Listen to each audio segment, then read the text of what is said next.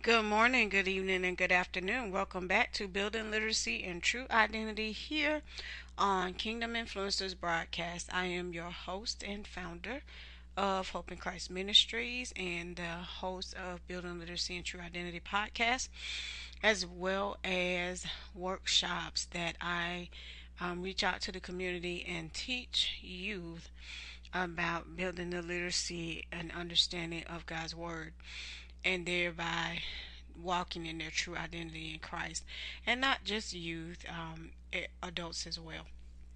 And so let's open with a word of prayer and we'll begin today's show.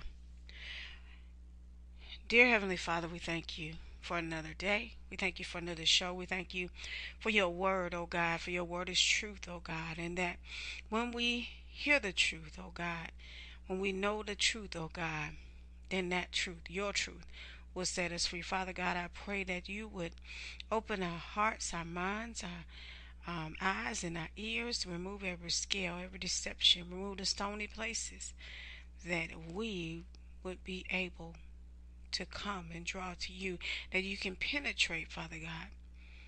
I pray, Lord, for those that are listening, that they would hear your voice. In Jesus' name, amen. Again, welcome to today's show we will continue in Genesis, and um, we are still talking about Noah.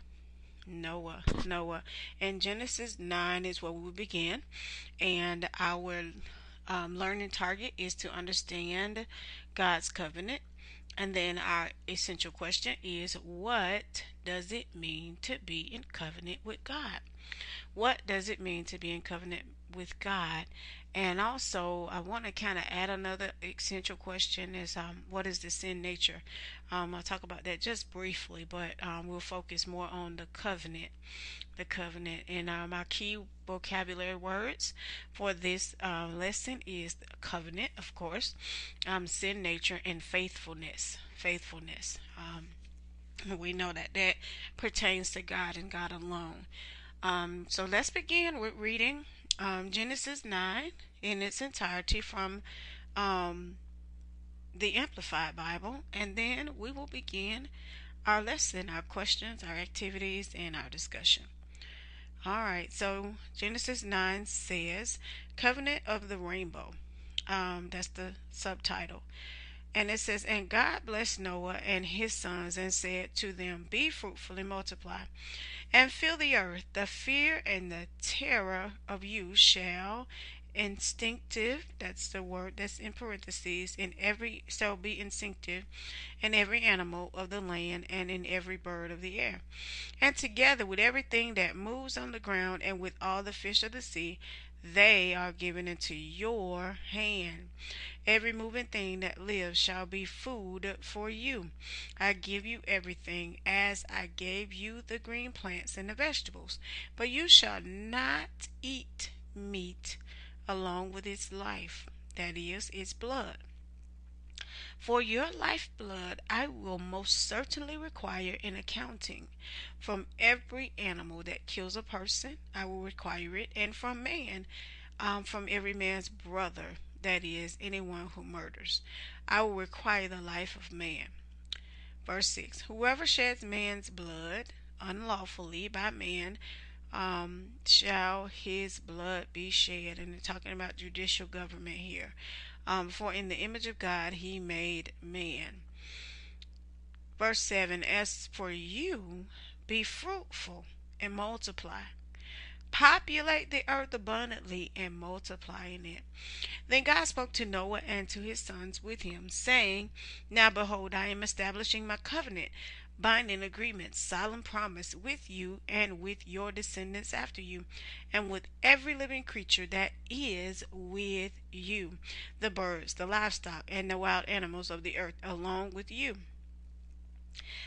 Um, of everything that comes out of the ark, every living creature of the earth, I will establish my covenant with you. Never again shall all flesh be cut off by the water of, the, of a flood, nor shall there ever again be a flood to destroy and ruin the earth. And God said, This is the token, visible symbol, memorial of the solemn covenant which I am making between me and you and every living creature that is with you. For all future generations I set my rainbow in the clouds, and it shall be a sign of a covenant between me and the earth. It shall come out come about when I bring clouds over the earth that the rainbow shall be seen in the clouds, and I will compassionately remember my covenant which is between me and you and every living creature of all flesh, and never again will the water become a flood to destroy all flesh. When the rainbow is in the clouds and I look at it, I will solemnly remember the everlasting covenant between God and every living creature of all flesh that is on the earth. And God said to Noah, This rainbow is a sign of the covenant, solemn pledge, binding agreement, which I have established between me and all living things on the earth.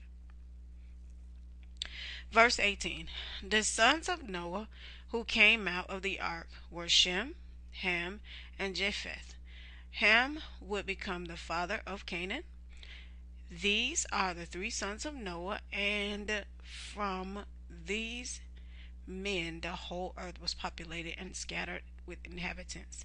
And Noah began to farm and cultivate the ground, and he planted a vineyard. He drank some of the wine and became drunk, and he was uncovered and lay exposed inside his tent. Ham, the father of Canaan, saw by accident the nakedness of his father, and to his father's shame told his two brothers outside. those are the words in parentheses. Verse 23 So Shem and Japheth took a robe and cut it on both their shoulders, and put it on both their shoulders, and walked backwards, and covered the nakedness of their father. Their faces were turned away, so that they did not see their father's nakedness. When Noah awoke from his wine induced stupor, he knew that his younger um, he knew what his younger son Ham had done to him. So he said, Cursed be Canaan, the son of Ham. A, a servant of servants he shall be to his brothers. He also said, Blessed be the Lord, the God of Shem, and let Canaan be his servant. May God enlarge the land of Japheth, and let him dwell in the tents of Shem and let Canaan be his servant. Noah lived 350 years after the flood. So all the days of Noah were 950 years, and he died. All right, so that was a pretty lengthy chapter, but um, we always read it in, in the entirety of it. So let's jump right in here. Um, so we're gonna review review um, the instructions first of all, the instructions that God um, gave when they um, came off of the ark. The flood was over, and God gave them instructions. And I noted something when I was writing this out, um, and I've written about Genesis 9 a few times, but I noted something this time. I noted that God spoke the same words to Noah and his sons as he did to humanity and the animal kingdom at the beginning of Genesis. At the very beginning of the book, he spoke this, the exact same words. He blessed them and he said, Be fruitful and multiply and fill the earth. So he gave them a command. He gave them a command. So that was the first thing that I noticed wait, the same instructions. God has um, washed away um, all the sin, all of the, the wickedness that was taking place on the earth back then, and and then um, as n- the instructions to Noah, um, the one who walked with God. Remember, the scripture said Noah walked with God. Um, and one of the instructions for him and his family was to be fruitful and multiply and fill the earth. So it's the same command, same command. So that was the first set of instructions that I noticed. Um, and then some other instructions that I noticed in this chapter, and that instruction was don't eat the flesh with its life, the blood in it. Don't eat flesh with its life, and then it goes on to say, for um, man is the image of God. Um, so that's important to notate. So God said, "Be fruitful. Don't eat the life, the blood, the um, don't eat the flesh with the uh, blood in it." And then um, he also gives some more instructions. Whoever sheds man's blood, by man his blood shall be shed. For in the image of God, he made him. He made man. All right. And then, um, of course, populating the earth, um, being fruitful and multiplying. So, um, in order for them, I just think about this before we go any further. So I just wanted to start with the instructions um, that God gave them. Um, but in order for them to follow these instructions, they have to be willing to follow God, to be willing to do what God is asking them to do. Um, they had to be willing. Noah um, was the leader here, and he had to be willing to follow what God was saying. So I wanted to start with the instructions. So God gives many of us instructions um, as well. Um, and the main instruction is to follow me. Seek after me, search, you know, after me. God wants us to know Him. He's our Creator. So, you know, um, the instructions of the of the commandments, and um, I know for a while we said it was ten, but it's many more. Um, but um, there are ten that categorize all the others but um, those are instructions. Um, just like when you know, as a teacher, um, my instructions before I even start a school year, every single year, our instructions are um, listed, um, and they're um, considered the code of ethics. And um, and even before testing, we're in the um, season of the um, Georgia milestone, and they they tell us these are the guidelines, these are the instructions I need you to follow. And if you don't follow them, there's going to be an issue for you. And so we have to understand that God's command, God's instructions for us are far greater. And um, sometimes we put man's instructions above God's instructions. So we have to be careful with um, that. Very, very careful. So those were the instructions. Now let's look at a few questions that I wrote here. Um, first of all, um, what promises did God um, speak to them? God spoke some promises. He promised some things um, to Noah and his families and uh, his family um, and his descendants after after him. Um, he said, "Into your hand." Um, first of all, the animal kingdom is given, and I'm just paraphrasing that. To your hand, uh, he gave dominion. Okay, because if God didn't give dominion, we'd be we wouldn't be having this conversation right now, or or or be recording this podcast right now. If God had never given humanity dominion over the animal kingdom, and we all know that, um, they shall be food for you, as I gave um, the green plant. So that was um, one of the promises that the animal kingdom basically won't overtake you. You know, um, and then the other one is I um, will establish my covenant with you and your descendants after you.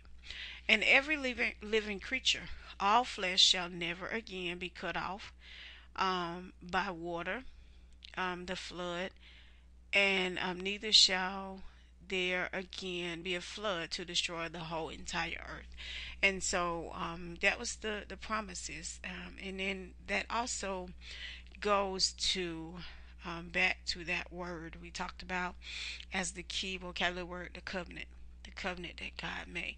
So, a covenant is agreement, is a promise, uh, um, something that someone um, you come into agreement with it, and um, you know you have a covenant with. Okay, we you do this and you know hey you can you know keep your car and um as long as you do you know the stipulation but this particular covenant from god he didn't put a if in front of it it was a covenant that he was going to keep regardless. Regardless, he knew that some chapters later, or you know, generations later, in in in the um, physical sense, that that sin nature was going to rise again, and that sin nature um, began to uh, pop its head up, um, not um, far towards the end of this particular chapter. So that's what we mean when we say covenant. That promises that God has said, um, and there was nothing attached. He just promised that He would never, He would never destroy the earth with water, and that that we would know it by the rainbow. The rainbow. We would know it by the rainbow in the sky. Um, when you see the rainbow, um, he said he would remember. Um, he said, It shall come about when I bring clouds over the earth. That rainbow shall be seen in the clouds, and I will compassionately remember my covenant, which is between me and you and every living creature of all flesh, and never again will the water become a flood to destroy all flesh. So that was a covenant, and the rainbow was the symbol, the symbol to um, remind us of God's um, faithfulness. So that remember that word that was part of our key vocabulary. So that was the promises. Um, and then my next question is, what does it mean to have an everlasting covenant? What does it mean to have an everlasting covenant? Um, well, only um, I believe God can give us an everlasting covenant. Um, and everlasting means forever. I mean, it doesn't end. Um, and so that's the simple answer to that. Um, it doesn't end, it's forever. Um, and a lot of times, like I said, with this particular covenant, covenant um, we notice even today in 2018 that God is has always continuously kept that covenant even to, to this to this day. Yes, there have been tsunamis. Yes, there have been different um, flooding in certain locations, but never to flood the entire earth as he promised in Genesis. All right, so remember that. All right, and the next question is how did the sin nature show up again? How did this sin nature show up again? Now, we know that the flood took place. God wiped out sin and wickedness. And here come this sin nature again. So how did it show up? We read in um in chapter 9, but um it starts in verse 20. And it says, And Noah began to farm and cultivate the ground, and he planted a vineyard. He drank some of the wine and became drunk, and he was unco- uncovered and lay exposed inside his tent. Ham, the father of Canaan, saw by accident the nakedness of his father, and um, told his two brothers outside. So Shem and Japheth took a robe and put it on both their shoulders and walked backwards. Walked backwards and covered the nakedness of their father. Their faces were turned away so that they did not see their father's nakedness. So Ham, the sin nature of um, humanity, um, walks in and, and looks upon the nakedness and and um, not to you know, focus too much on this, but um, just to you know that he had a choice, just like his brothers had a choice. His brothers noticed their reaction was different.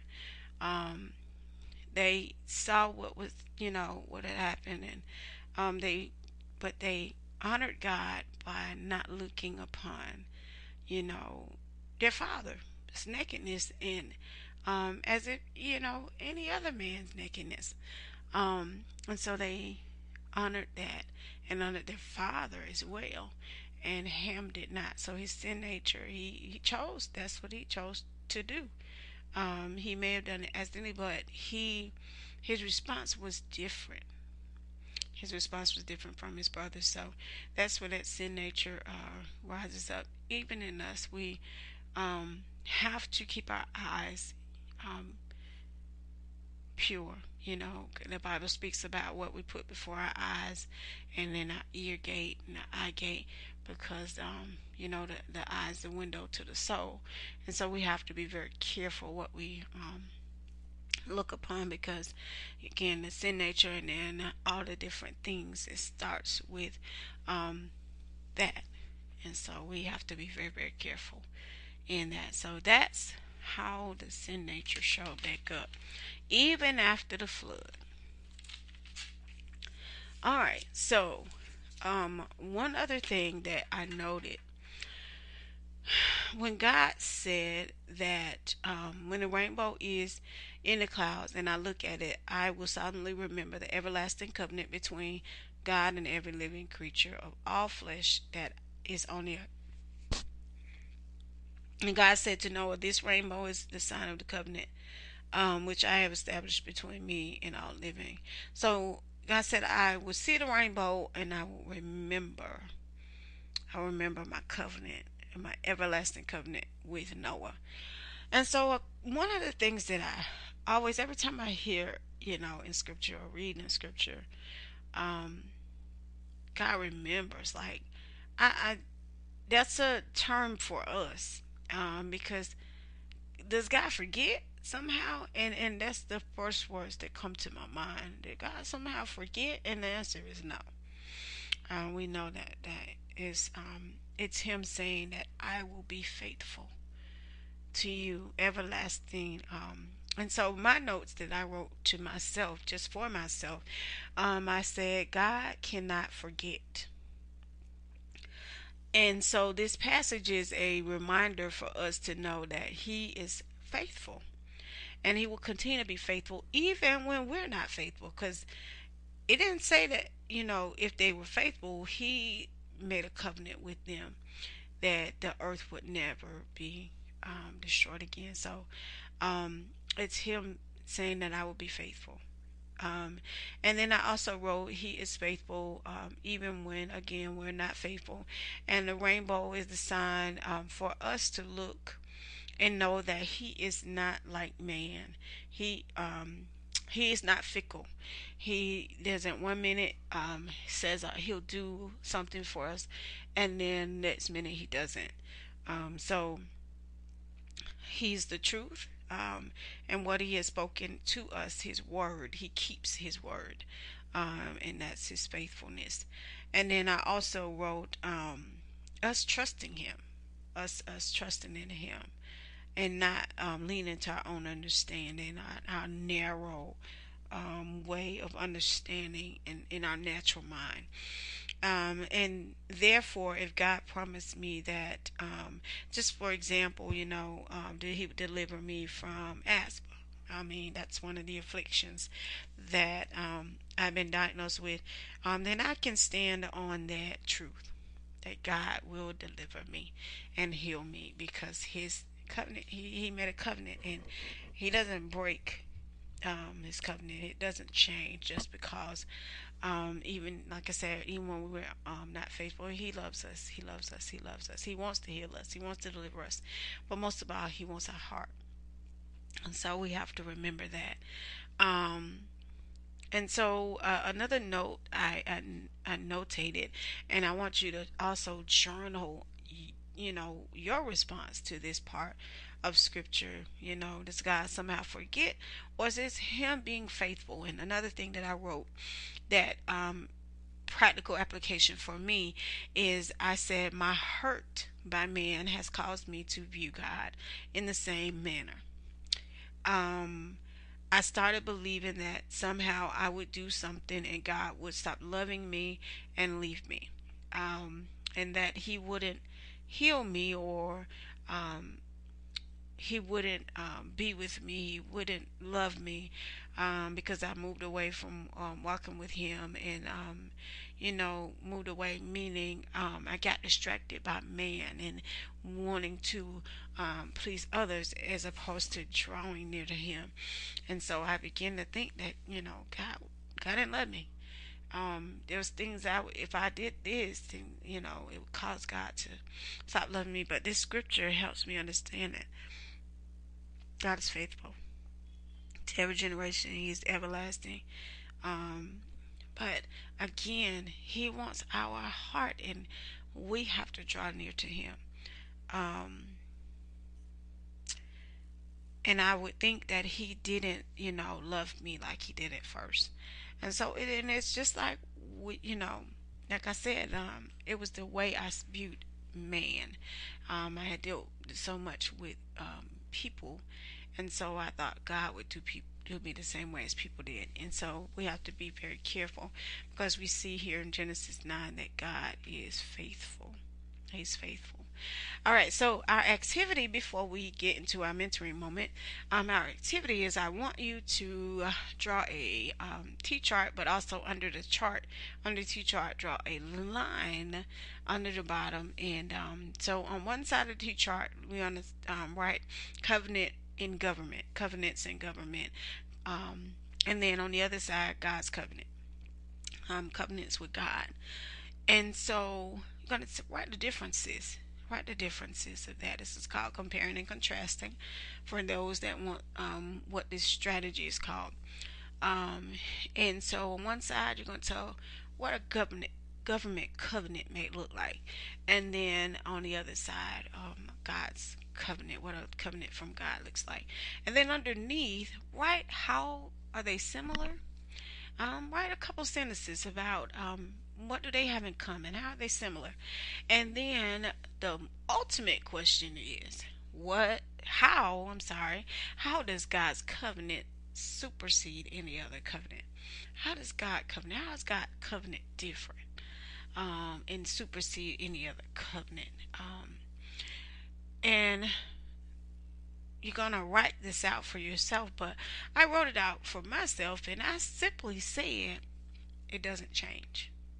God doesn't change. His covenant doesn't. If He said it, you can you can take it to the bank because it will take place. He if He said it, and and there's sometimes, you know, of course He'll say if you, you know, and you read the scriptures in Deuteronomy, um, if you, you know, then this, you know, He His promises are yes and amen, but we have to participate you know, and obeying Him. You know, the promises are for His people.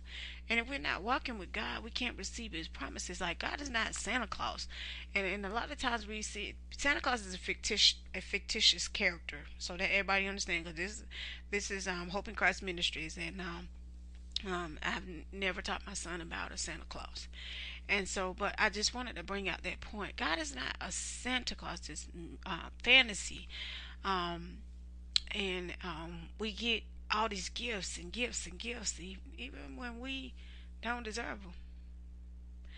Um, even when you know I just see certain things, and you know, even when we haven't been, as as they say, nice. They say, "Are you been naughty or nice?" Um, but it's not like that with God. God's covenant is truth. You know, but are we his people? That's the question. Um, and also um, the difference between the any covenant with the government and a covenant with God is the source God can be trusted. We may not necessarily be able to trust others, even in local government, state government, whatever, federal government, whatever it is. But the source, God, we can trust him that he's going to do exactly what he said he's going to do in our lives as we obey. Now, sometimes governmental covenants or laws and rules and things that are written change from day to day. And again, we may not uh, be able to trust the source behind it and the heart behind it. We know that God is God and we know that He's holy. We know that He's righteous um, because that's where righteousness comes from Him. And so we have to remember that. All right, so that's the activity of comparing and contrasting uh, government, natural government, uh, with um, God. I mean, natural government and a covenant from them, and God's covenant. We can trust the source. Okay, all right, and so let's let's finish up. Uh, we have a mentoring moment, and I simply want you in this mentoring moment is I want you to take your notebook, your journal um, that you often write in, and I want you to write out your own covenant to, to Jesus. What would you um, agree um, to try to do to walk in a closer relationship with Him? What things do you need to um, to write out and really, really um, try to commit commit to. And I have a few things that I wrote down for myself just because I always participate in the activities that I give. So write a covenant. Covenant? Remember, God's covenant and His instructions were very, very specific. Never again. Never again. Will the flood take out basically every every all um, life Okay, and so my examples of covenant, and um, again, we're not God, of course. We we definitely um, without Him we can't keep it, but um, to want to commit our lives to Him. So my first one is I commit to focus on you, God, and not on people, not even family, not anything that distracts me. I commit. I I want to do my very best to commit to focus on you. And then my number two is I commit to do my very best to read the word um, daily so I can hear your voice and not the voices of all because there are a lot of false prophets in the land now. So we have to know what God's word said about every topic. We have to be prayerful and know what God's word said. And that would be my next one. I commit to time in prayer with you. So, and, and I commit to um, do my very best to let go of relationships and, you know, um, connections that are not of you or what you desire that pull me away from you. Um, and also, um, my my final one is I commit to um, your purpose for my life. Not my own purpose, but your purpose for my life. So that's my commitment. And then um write write it out, put it up on your mirror, put it up in your bathroom, and we, we can repeat it, you know. Um, I commit these things. I commit to walk with Jesus. I commit to to um, walk away from friends that keep me from um, walking in relationship with Christ, and you know, so just different things like that. All right, so um, really, really, really, genuinely, um, really focus on that and not just do it just to be doing something. Amen. So um, the last part, of course, is our grammar and literacy fund. Um, we, again, I mentioned you heard me mention earlier in the show that um, we're in the um, state exam season, and ours is called the Georgia Milestone. And um, so, of course, I'm pulling out some of those terms um, that may be on the assessment. And so, one of them is symbolism. Symbolism, and that's very, it means exactly what it says symbolism. Something that, um, the, the official definition is um, the use of an object, person, situation, or word to represent something else. So, something that um, you see and it brings to mind um, something else.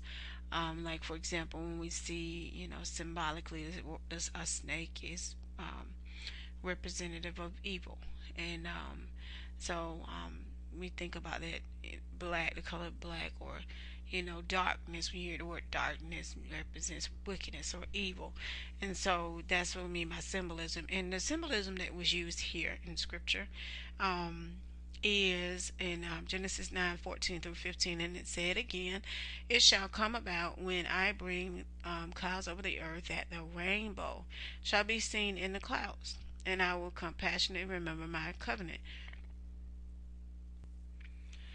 And I will um, never I'm sorry, which in between, which is between me and you, and um, ever um, lasting covenant, and um, and never again will the water become a flood to destroy all flesh. So that um, symbolism that we talked about is the rainbow. The rainbow represents um, the commitment from God, the promises of God.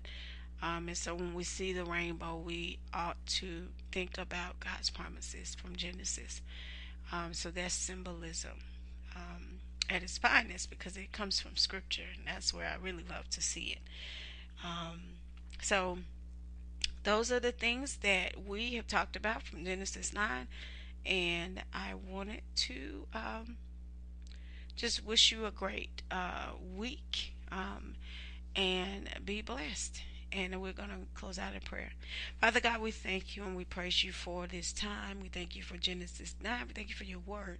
And Father, we pray, Lord God, even as we read it more and more, we um, get more clarity about you and knowing who you are knowing that your word is truth, God. No matter what the enemy tries to try to bring to our mind, your word is truth. And you said your truth, your truth, the truth will set us free. So, Father God, I pray that your truth would penetrate our heart and that we would be set free as we search for your through your word and as we search for you, oh God, to walk in relationship. And remember that your covenant that we can we can really really trust the source. So we thank you and we praise you for it now in jesus name. Amen. Thank you for listening to Biblical Literacy and true identity here on kingdom influencers broadcast brought to you by hope in christ ministries. Be blessed and continue to hope in christ and walk in your true identity in him